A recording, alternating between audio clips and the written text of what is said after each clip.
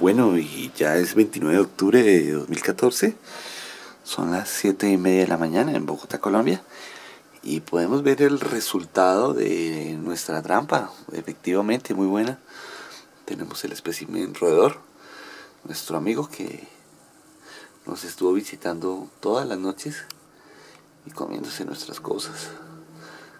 Qué tan higiénico es. Pero bueno. Vamos a volver a colocar la trampa esta noche y esperar que vuelvan a caer más amigos. Si ya continúa este problema, toca tomar otro tipo de medidas ya eh, más serias.